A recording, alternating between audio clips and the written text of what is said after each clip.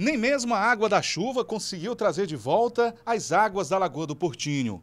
Com a escassez, a paisagem mudou radicalmente. Segundo este pescador, tá difícil tirar o sustento da família. Na época dessa tempo de crise, essas coisas estão tá acontecendo aí, a gente não tem um dinheiro para comprar a, mistura, né? Aí a gente vem aqui, aí tá em falta, né? Acaba tudo. Uns 15 anos, 20 anos atrás aqui tava tudo cheio, era beleza mesmo aqui, tudo era tudo, tudo vivo, era tinha peixe aqui. Entrava aqui até peixe, até siri, você acredita? Da, da maré vinha para cá.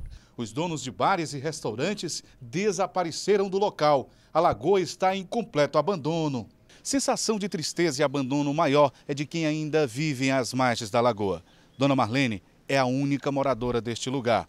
Segundo ela, a maior esperança é de um dia poder ver a lagoa cheia novamente. Tristeza de ver essa lagoa seca e a gente não poder fazer nada, as autoridades não fazem nada e esperar ver o que, que Deus tem para fazer, se vai ter um bom inverno. A problemática envolvendo a Lagoa do Portinho já motivou diversas discussões, envolvendo o poder público, privado e ambientalistas, mas nunca chegaram a uma conclusão. Foi aí que um grupo formado por um engenheiro ambiental, um advogado e um empresário resolveram abraçar a causa e colocaram em prática por conta própria o que parecia impossível.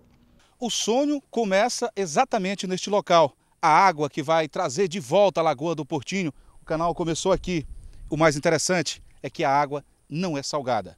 E com isso vai trazer de volta o turista, a população, aquele local. Desde 2006 a gente notou que a lagoa vem perdendo um volume substancial de água. Vem baixando ano após ano, tem vários problemas na lagoa. Um era esse que o governo municipal, o governo estadual nunca apresentou projeto, nunca apresentou uma solução e estava tão pertinho dessa água chegar. Esse ano a gente vendo a, a morte da lagoa chegar, a gente reuniu, resolveu se unir para tornar esse sonho possível de renascer a Lagoa do Postinho. Acredito que dia 7 do próximo mês a gente chegou essa água na Lagoa do Postinho.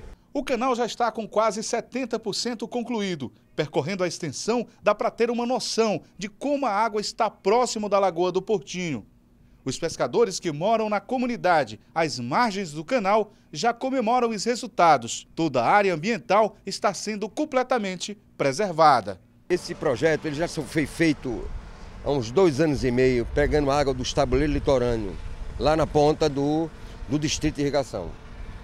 Mas a, a iniciativa é, privada resolveu fazer isso aqui, porque nem municipal, estadual nem federal nunca houve recurso para fazer isso a gente quer recuperar todo o estuário do Rio Portinho, desde a sua nascente, nos Cadóis, até aqui.